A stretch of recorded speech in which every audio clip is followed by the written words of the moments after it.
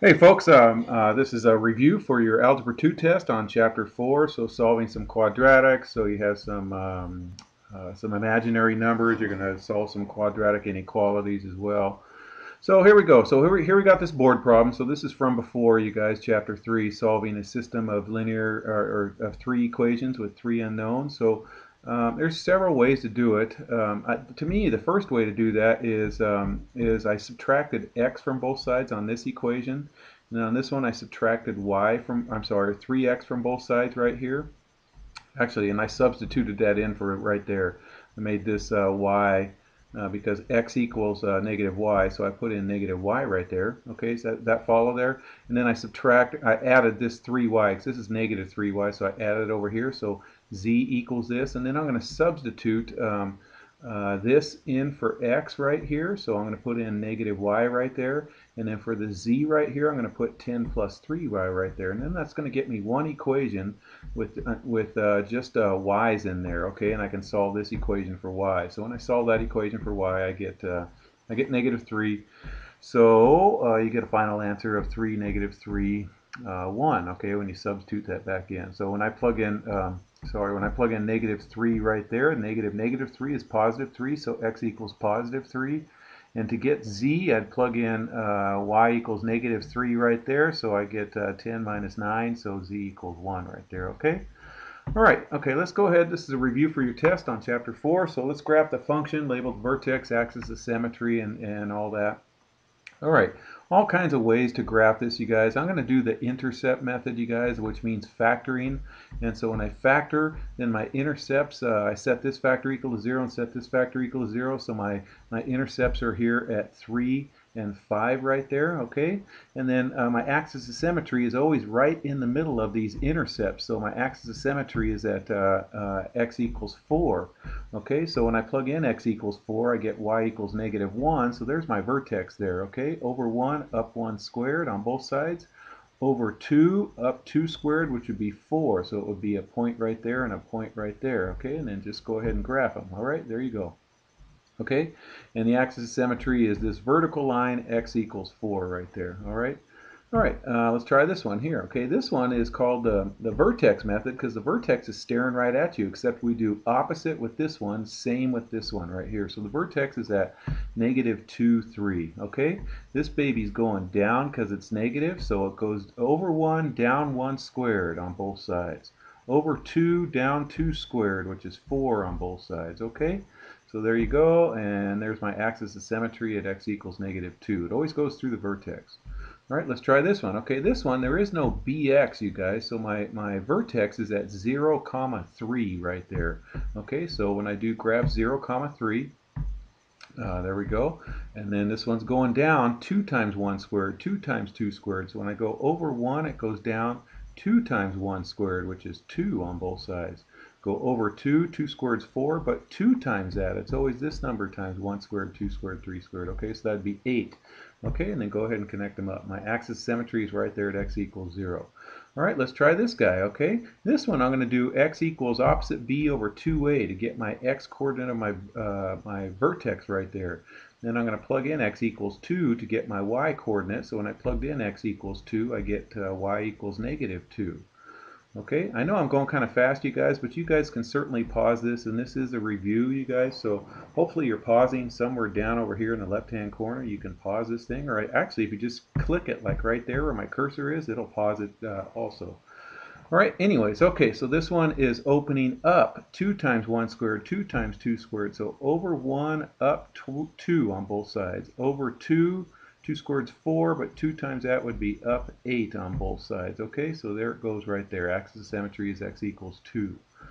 All right, so let's solve each equation. Okay, so quadratic equations like this one, we have to make it equal to 0. So I added 32 to both sides, and I got 56. Factors of 56 that add to 15 are 8 and 7. Okay, set this factor equal to 0 and set this factor equal to 0, and I get negative 8 or negative 7. That's the answer, okay?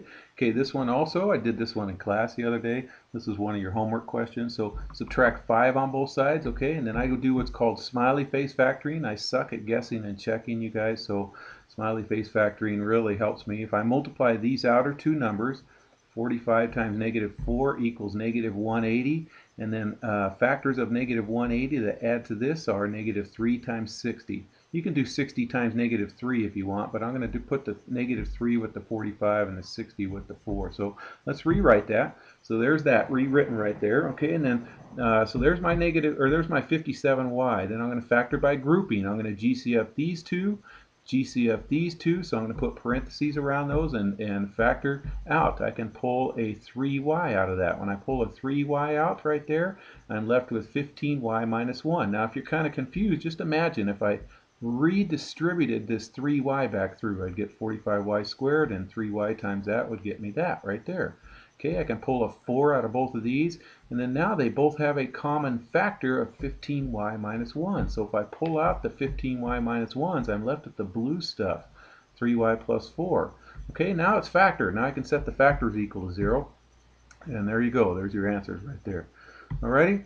Okay, so here, this one, there's a couple ways to do this one. You can do um, uh, set it equal to 0 and factor. This is a difference of squares.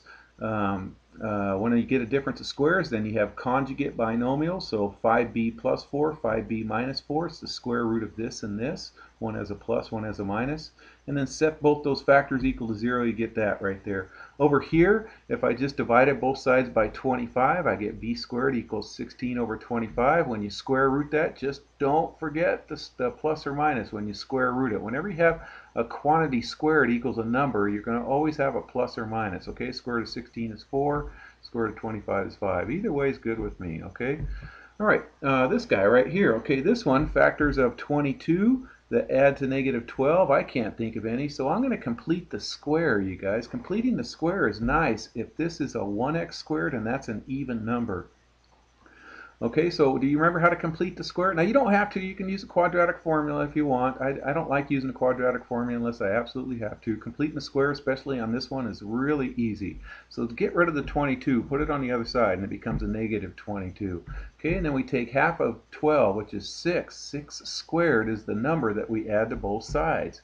So 6 squared is 36. I'm going to I'm going to um, I'm going to uh, add 36 to both sides. Now this makes a perfect square trinomial. So here this becomes a binomial squared, x minus 6 squared. Okay, and this side becomes 14. Then we square root both sides. Don't forget your plus or minus, you guys. So you get uh, 6 plus or minus the square root of 14. Okay, you would get that also if you didn't make any mistakes using the quadratic formula, but boy, this is slick if you can do it. If, if that's even and that's 1 and I can't factor it, I'm going to use uh, completing the square. All right, find the zeros of the function, okay? When it says find the zeros, that just means set it equal to zero and solve, okay? Just means solve, okay? So now I'm going to solve. All right, let's see. Factors of uh, negative 15, when I multiply those, there's no factors of negative 15 that adds to 10. I wouldn't touch this on completing the squares unless somebody absolutely made me, you guys. I would. This one's totally ready for the quadratic formula, you guys. So here's the quadratic formula right here. Some negative boy could not decide on whether to go to a radical party or to B Square and miss out on four awesome chicks. The party was over at 2 a.m. Okay? All right, so, uh, or you can do the Pop Goes the Weasel song, and I don't want to sing that because it gets stuck in my head, but go look at uh, my review on uh, section 4.8, which is the quadratic formula, and I sing it about four or five times in there, and ugh, it gets stuck in my head. Anyways, here we go. So if I plugged it all in right, I get to that stage right there. Uh, okay, just check your work, make sure you did it okay, and then uh, I'm not done, you guys. 2 can go into all these outside numbers, and so I canceled them all down by 2, and there's my answer right there. All right? Okay, so graph this inequality. So I'm going to graph the parabola, just like we did before, and then shade. We're going to shade, okay? So there's my parabola being graphed right there, okay? Sorry about my sloppiness. I had to do it with my index finger on my laptop right here. Okay, and then I'm going to test 0, 0. 0, 0 is outside. If 0, 0 makes it true, this inequality right here, then I'm going to shade the outside. If it makes it false, then I shade the inside, okay? So when I test 0, 0, it made it false, you guys. 0 is not greater than or equal to 12, so uh, I shade inside the parabola because 0, 0 was on the outside of the uh, parabola, okay? All right, let's try another one here. Let's graph the system of inequalities, okay? Okay, I did this one in class on uh, the last lesson, 4-9, I believe. Okay, there's that one. It's a dotted parabola. and I tested 0, 0. 0, 0 made this a yes, so I'm going to shade inside this red guy right here, but I still got to graph this one, so I'll do this one in blue.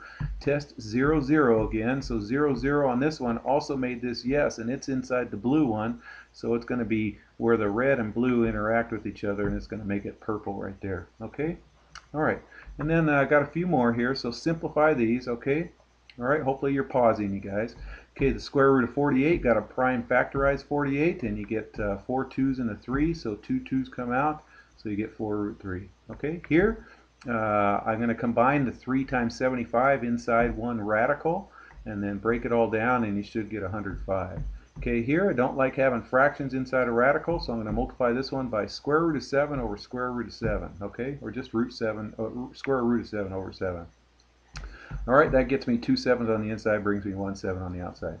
Okay, here I'm going to distribute this negative 3i through, so negative 3i times 7, negative 3i times i is going to get me that right there. Don't forget i squared equals negative 1, so this this becomes, whoops, I made a mistake right here. No, I didn't. I'm good, right? Yeah, I'm good. Uh, okay, because it becomes, uh, uh, let's see, oh, I sure did. I did too make a mistake. Okay, this is going to be a minus right here. Let me get rid of that. That is a minus uh, i squared, and so that's going to change this to a plus because because i squared equals negative 1. All right, if you guys know me by now, and if you're watching this, you're probably one of my students. I make lots of mistakes, okay? All right, but if you don't, then my students will tell you. I like my, if you knew them, uh, I make all kinds of mistakes. Okay, here's this one here, you guys. Can't have a radical downstairs, so I got to do the conjugate trick. The conjugate of this guy is going to be 1 minus 2i over 1 minus 2i. And so when that happens, it's going to get me, I square, when they're conjugates, it's just the first one squared minus the second one squared, and that gets rid of your radical. So 1 squared is 1, square root of 2 squared is just 2, 1 minus 2 is negative 1, and you can never leave the negative downstairs, you have to absorb it upstairs, so there's the answer right there. Okay, over here, we're going to clean it up and do the same thing with the conjugate rule. Okay, so there's this all cleaned up right there. And then I'm going to multiply this by 4 plus 3i over 4 plus 3i. Okay, and then we square 4i, square 3, and subtract them. 4i squared is 16i squared. I distributed this 3 through on top, and they get me that right there, 16i squared. Remember, i squared is negative 1, so this becomes negative 16. Negative 16 minus 9 is negative 25, and don't forget, the negative gets absorbed upstairs, so there it is right there. All right, I think I have a little bit more here, you guys. Oh, I don't, except for if you are in my class, this would be your assignment. Uh, it will be pages uh, 318 to 322. I've got company, my dogs are barking. The numbers 3 through uh, 43 odds. Numbers 3 through 43 odds. Take care, gang.